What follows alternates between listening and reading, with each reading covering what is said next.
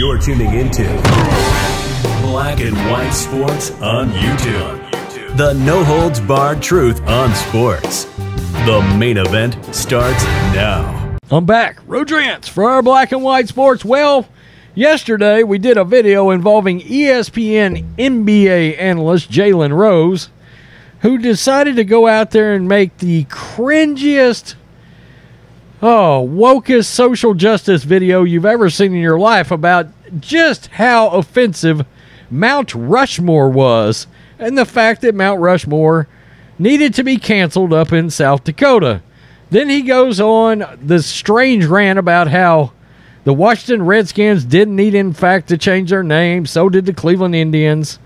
Even though I've never met a single Native American offended by any monikers given to any sports team involving any Native American.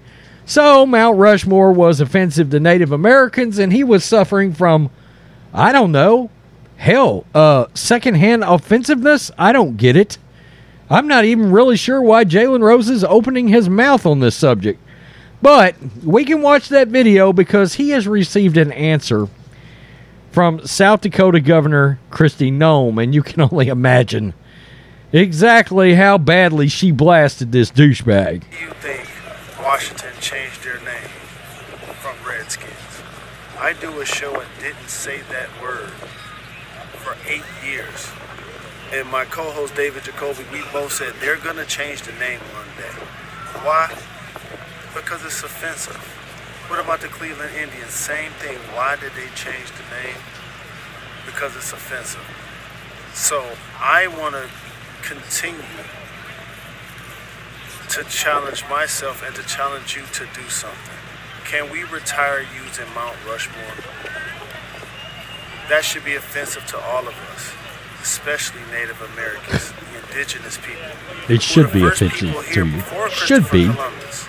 That land was stolen from them when it was discovered that it contained gold.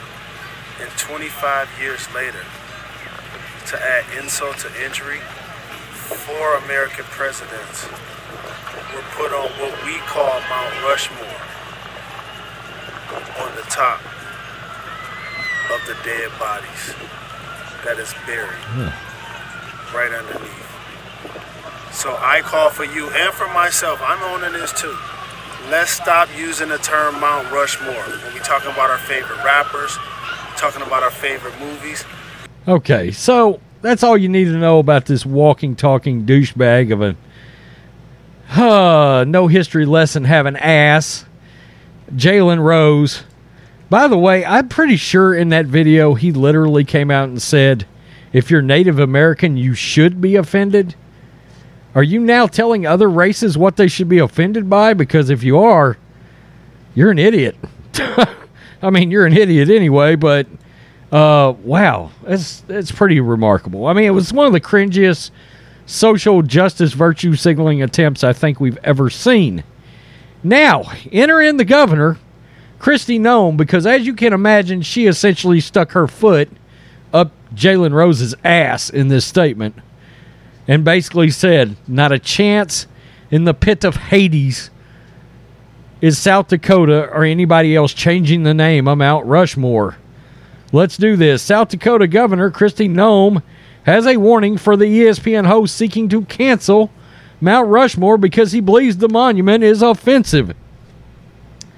Can you imagine being a grown ass man getting up and going out to a beach and then setting down and literally going to the trouble to pull out your phone and record one of the most cringiest, curd doggest videos you've ever seen in your entire life? I mean, you're a grown man, Jalen Rose. Really? That's just sad. I mean, you need some hobbies. Noem's words of warning quote, not on my watch. That just crossed my mind exactly how cringy that was that he actually went to the trouble to do that. It is just gross. On Saturday, the South Dakota Republican posted a message on Twitter warning, quote, woke leftist. That would mean you, Jalen Rose, that the famed monument in the Black Hills was a tribute to four men who helped make America great, and it wasn't going anywhere. The four men on Mount Rushmore were amazing, flawed American leaders who helped make America what it is today, the greatest country the world has ever known. Noem wrote to the woke leftists obsessed with attacking these leaders I've got news for you, not on my watch. And she did tweet this and attach Jalen Rose's cringy ass video. Noem posted the message in response to ESPN NBA analyst Jalen Rose, who earlier this week had called for social justice activists to rally to force the end to the term Mount Rushmore as a way to define greatness. I mean, really, dude, stick to basketball, okay? Stay in your lane, stick to basketball. God, that is one of the most pathetic, pathetic attempts of virtue signaling I've ever seen in my life. It was an embarrassment. Not only that, like I said a minute ago, you're a grown ass man and you literally pulled your phone out and went on a rant about something being offended to Native Americans, and you've got secondhand embarrassment, secondhand offensiveness. What exactly do you call this? It's a race for the most woke, and I understand you get brownie points for this kind of thing at ESPN, but this is exactly why nobody's watching. Why nobody's watching ESPN anymore. Actual outside of live content, guys like Jalen Rose has wrecked that company, destroyed it, because people can't look. I'm a University of Michigan fan. I can't stand to look at Jalen Rose's face. I just can't. I mean, it's it's it's it's awful. He's a cur dog for crying out loud. Kowtowing, trying to get out there, be the most woke, activist, pissing and moaning and crying. Dude, grow a pair for crying out loud. That's crazy to me.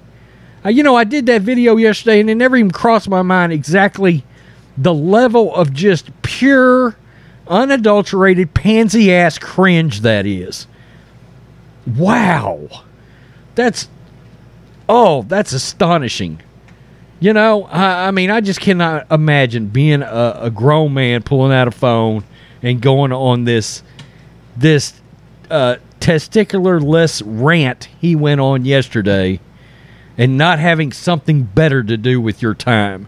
And I got to commend Kristi Noem. Of course, you expect this from her.